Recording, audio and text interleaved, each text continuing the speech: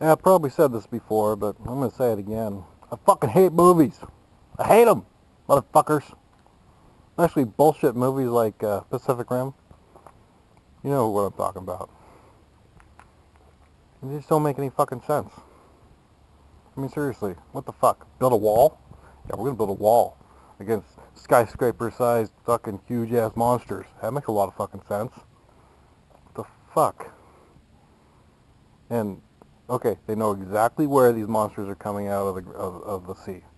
They know exactly where it is, right? So why don't they put a big battery of fucking missiles and shit like right around the cr- little crater or whatever the fuck that thing is, and just as soon as something trips off the meter saying, "Oh shit, something's coming through," done, done. Or I just watched how it should have ended, and they had the the guy with the big ass at the end, you know, the guy you could bust, bust out this big ass sword, which they could have used this entire fucking time. They just stood over the hole and went, choop! As soon as one come through the hole, they just chop, chop its head off and done.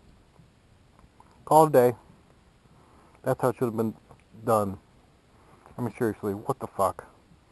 I mean, Del Toro is an awesome director, and he's done some great fucking movies, but what the fuck happened to that shit? I mean, not to mention the fact that I just couldn't give a flying fuck about any of the characters for some reason. That dude from Sons of Anarchy just can't act to save his fucking life. That's the only explanation. I mean, the chick's hot, but I mean, who cares? And what's with this drifting compatibility fucking horseshit? It doesn't make any fucking sense. I mean, I, I kind of understand why you would want two pilots anyway, just to maybe have one is like a backup in case the other one had like a fucking heart attack or some bullshit, but why the fuck is it... Do you need two pilots, I mean, to drift, to, to be in each other's head and... It... What? It's just, it's like they made it just too fucking complicated or... I don't know. Del Toro couldn't have written this thing. Some, some fucking jackass fucking retard must have written this thing.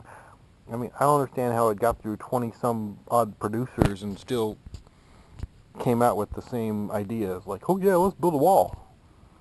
That makes sense. Let's build a wall. And they even show a fucking monster just tearing right through it. Duh. Of course he's gonna tear right through it. He's a big ass fucking monster. Fucking idiots. And this, this is why I hate fucking movies. Fucking bullshit.